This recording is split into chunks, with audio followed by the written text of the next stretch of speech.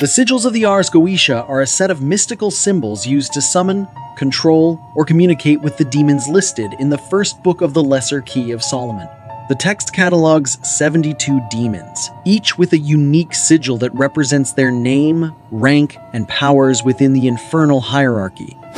The Ars Goetia is part of a larger tradition of grimoires, which are medieval books of magic that provide detailed instructions on how to summon and control spirits. The origins of this text itself are shrouded in mystery, but it's believed to have been compiled in the 17th century drawing from earlier texts and traditions that date back to the Middle Ages. Each sigil in the Ars Goetia is a unique graphic signature associated with a particular demon. The process of creating these sigils, known as sigilization, involves transforming the letters of a demon's name into a complex, abstract symbol. We talk about this process in our video on how to create a sigil, so check that out for more information.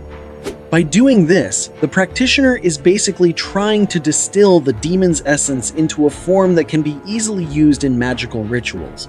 The Ars Goetian sigils are typically enclosed in a circle. The circle represents completeness and unity, but it also serves as a protective barrier that contains the invoked force, preventing it from escaping and causing harm to the magician or those nearby. This containment is crucial as demons are often viewed as unpredictable and potentially malevolent forces. The use of the circle ensures that the summoner maintains control over the demon during the ritual. The appearance of each sigil in the Ars Goetia is distinct, featuring a variety of geometric elements such as crosses, stars, loops, crescents, and other esoteric symbols. These shapes are not chosen randomly. Each design element is believed to correspond to specific qualities or powers of the demon it represents.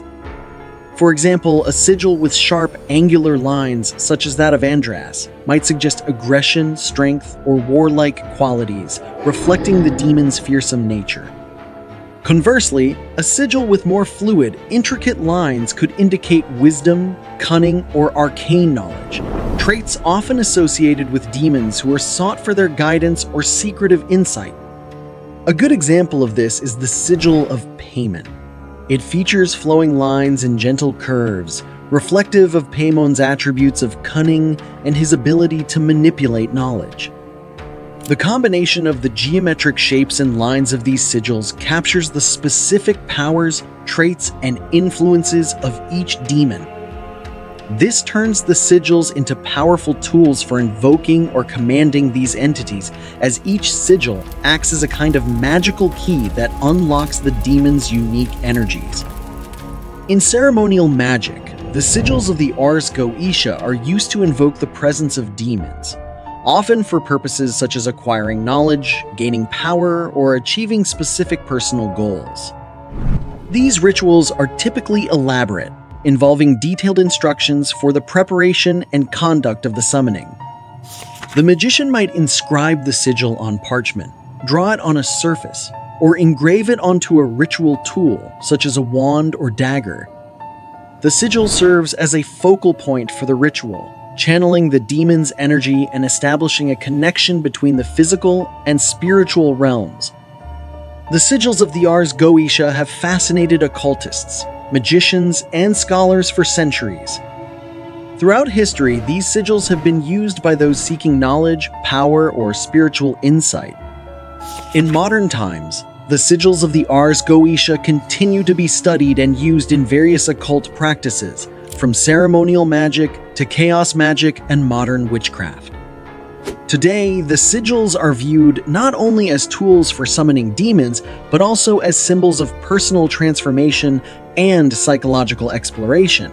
Some modern practitioners interpret the demons and their sigils not as literal entities but as aspects of the human psyche, representing various fears, desires, and hidden potential. In this context, the sigils become a means of self reflection and inner work, helping practitioners explore their subconscious minds and achieve greater self awareness. What do you think? Are the sigils simply symbolic or do they have inherent power? Let us know in the comments below. If you enjoyed this video, please like and subscribe to support our channel. Thanks for watching.